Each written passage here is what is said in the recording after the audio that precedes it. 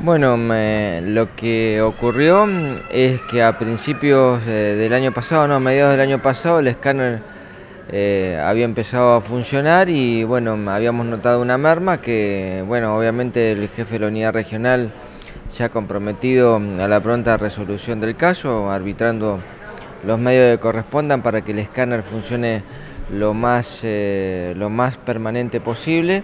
Y bueno, esa es la, la realidad que Hoy nos convoca aquí con el concejal Enzo Terrera, con el subsecretario de Protección y Prevención Ciudadana Luis Báez y con el director de Inspecciones Generales Santiago Bermejo que nos constituimos como para ver cómo funcionaban.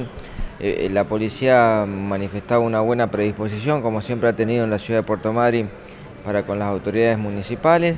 Está el jefe de la unidad regional, Ricardo Cerda, con lo cual, bueno, nos vamos contentos porque el escáner eh, hay un compromiso que empieza a funcionar eh, conforme lo venía haciendo hace un tiempo.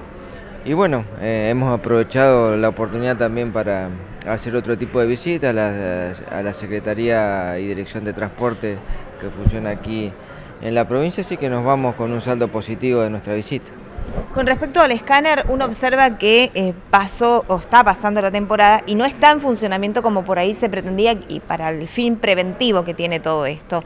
Eh, ¿El compromiso concreto cuál es desde la Policía de la provincia? ¿Ponerlo en funcionamiento periódicamente, sorpresivamente, permanentemente?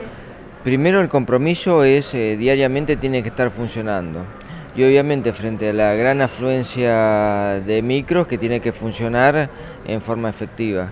Por ahí lo que no, ha habido este, una gran cantidad de micros como el año pasado, lo que ha motivado eh, dicha merma, pero el compromiso es que funcione en forma periódica sin perjuicio que haya controles opresivos en cualquier momento del día.